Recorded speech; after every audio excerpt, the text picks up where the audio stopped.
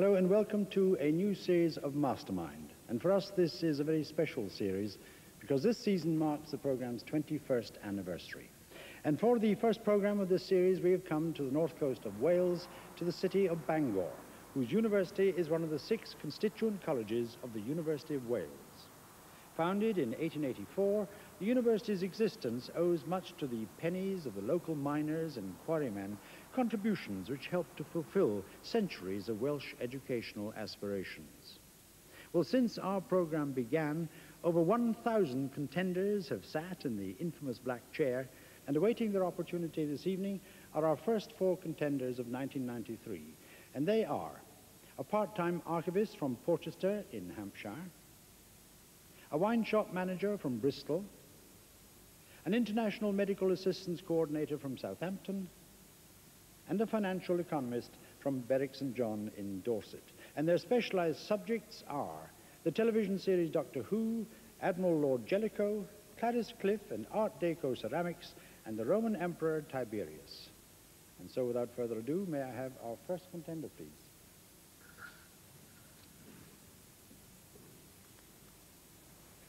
Your name, please. Gavin Fuller, Occupation. part-time archivist, And your chosen specialized subject. Doctor Who. Gavin Fuller, you have two minutes on the BBC television series Doctor Who, starting. Now, the Doctor's travelling machine is called a TARDIS. What's that an acronym of? Time and relative dimensions in space. Correct. The first Doctor Who adventure, An Unearthly Child, was set in two ages, the 1960s and which other? Uh, Stone Age. Correct.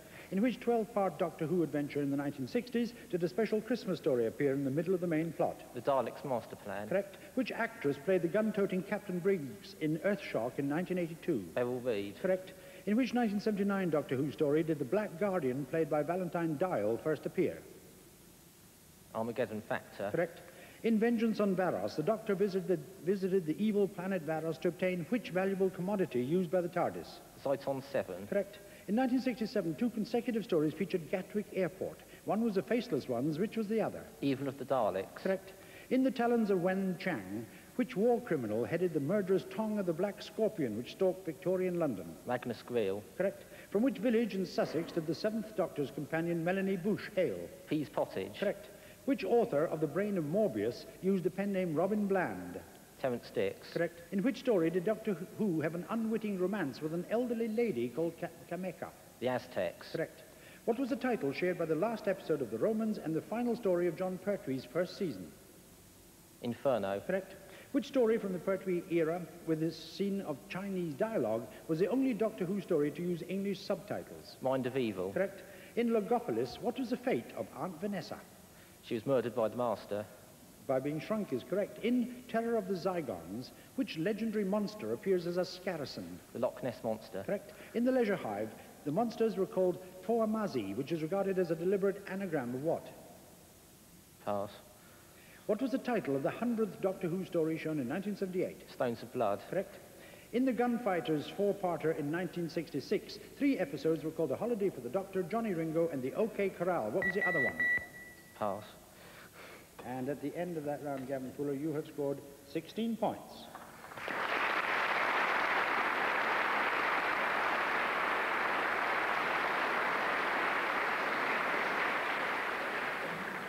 You passed on two. The monsters called Foamasi, that was a deliberate anagram of mafiosa. And the fourth of the episodes in the four-part of The Gunfighters in 1966 was called Don't Shoot the Pianist. Gavin Fuller, thank you very much. Seamus. A private eye. And finally, can we have Gavin Fuller, please? Lives in Portchester, near Portsmouth. He's a part-time archivist on HMS Warrior. Scored 16 points on Doctor Who to be in the lead at the halfway stage. The target you now have to beat is 29. And your general knowledge questions start now. Which 19th century statesman was known as the Iron Chancellor? Bismarck. Correct. What is the meaning of the Latin phrase in flagrante delicto? In the Delicious Act. No, in the caught in the act of an mm-hmm. offence. In Greek legend, who was the wife of Odysseus who faithfully awaited her husband's return through his 20 years' absence? Penelope. Correct. Which British architect assisted Wren on St Paul's Cathedral and aided Vanbrugh at Castle Howard and Blenheim Palace? Pass. In mathematics, what name meaning spiral is given to a three-dimensional curve resembling a corkscrew or bolt thread? Helix. Correct. Who became the first overseas player to join Yorkshire County cricket team last April? Sachin Tendulkar. Correct. In 1976, which French musician released the hit album Oxygene that helped to popularize electronic music? Jean-Michel Jarre. Correct. Which leader of the First Crusade was elected as ruler, ruler of Jerusalem in 1099 but refused to accept the title of king? Godfrey de Bouillon. Correct. In which European country is the port of Vlissingen or Flushing? Belgium. No, the Netherlands. Who became Prime Minister of Israel in March 1969? Golda Meir. Correct. Which Russian author and dramatist wrote Three Sisters, Ward Number 6, and The Cherry Orchard? Chekhov. Correct. Which term, derived from the ancient name of a river in West Turkey, describes the sinuous winding or turning of a river? Meander. Correct. Who was a Dominican friar whose crusade against corruption led to the overthrow of the Medici rule in Florence in 1494? Pass. Dead reckoning is a method used in which discipline? Mathematics. No, it's navigation. Hmm. In Malory's Morte d'Arthur, who was Arthur's fool, who was knighted by the king himself? Dagonet. Correct. Which American economist, a leading member of the Chicago School, won the Nobel Prize for Economics in 1976? Milton Friedman. Correct. Catherine of Aragon was the daughter of which king and queen? Ferdinand and Isabella. Correct. Which French town on the Eure is noted for its Gothic cathedral with its two towers and historic stained glass windows? Rouen. No, Chartres. In 664, at which synod was it decided that the English church should adopt the Roman rather than the Celtic practice in determining the date of Easter? And you answer. Whitby. The synod of Whitby is correct. And at the end of that round, Gavin Fuller, you too have scored 29 points.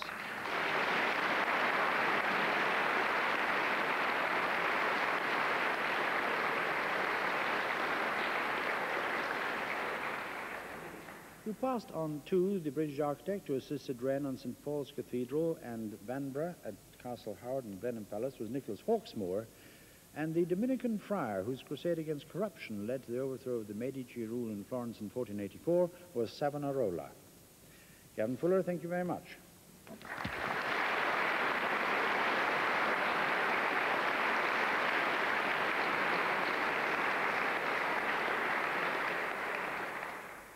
Well, that brings us to the end of a cliff-hanging second round, the general knowledge round. Let us look at the scores again.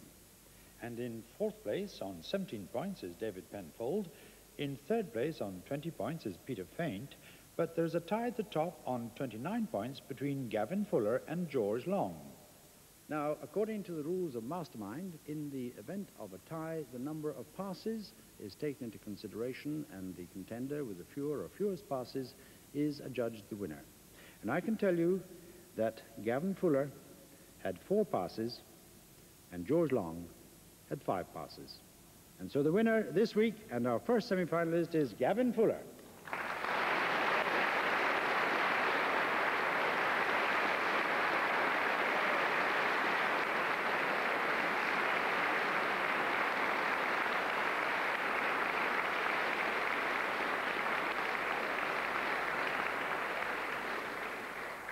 Well, our congratulations to Gavin, our heartfelt commiserations to George and the others. It is awful being pipped by a pass, especially after the bell, when it wouldn't have done you any good anyway.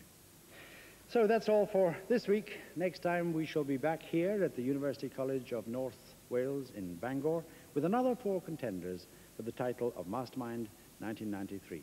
Until then, from Mastermind at Bangor is goodbye.